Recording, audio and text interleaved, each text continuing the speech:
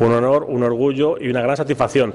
Eva Calvo es eh, un ejemplo de lo mejor de Leganés, un ejemplo de trabajo, de sacrificio, de, dedicación y de buen hacer. Ella ha conseguido bueno, pues una medalla de plata histórica en la ciudad, es la primera deportista de Leganés que consigue una medalla olímpica y la verdad es que es toda una maravilla. Estoy muy orgullosa de, poder representar a Leganés y, bueno, lo que he dicho cuando he salido, que creo que esta medalla es, de todos. Es un honor desde luego para Leganés y para deporte sobre todo tener eh, en Leganés a Eva Calvo, una medallista olímpica y una gran deportista de, un club que tiene la sede aquí en nuestra ciudad.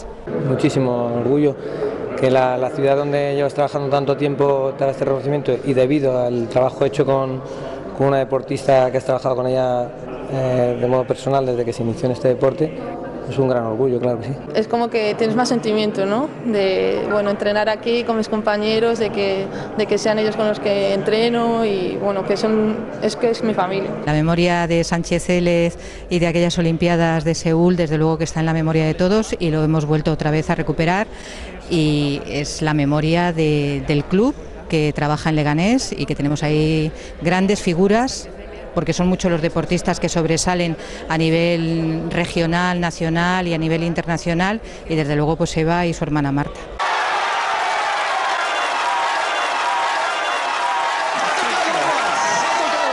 El día que ella lo consiguió, bueno, pues miles de leganenses la siguieron por televisión, eh, muchos de ellos además en directo en un centro municipal y para nosotros, bueno, pues es un ejemplo de lo que queremos que Leganés en el futuro, una ciudad que, trabaja y que consigue éxitos. Mucha alegría, sí, además he estado viendo los vídeos ¿no? que, se grabaron ese día y las fotos y bueno, eso es, yo creo que es lo que más me emociona, ¿no? de que haya tanta gente ahí pendiente y que además sean mis compañeros, ¿no? que, que son los que han estado trabajando conmigo día tras día.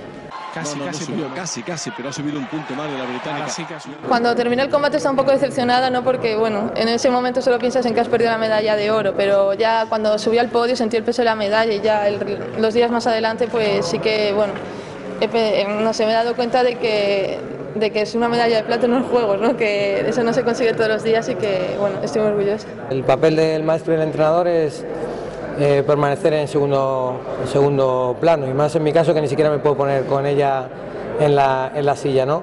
Me quedé un poco plof cuando estaba en la Olimpiada y, parece que yo estuve allí en Río y ningún momento pude estar con, con, Eva ni nada en el final, pero cuando, cuando volvía después de las vacaciones en Brasil y tal, casualidades, eh, viene el avión, la película esta de Karate Kid, y veo como al final la, el chico lo celebra con la novia y el Miyagi no, pues va satisfecho y digo, claro, está la vida, ¿no?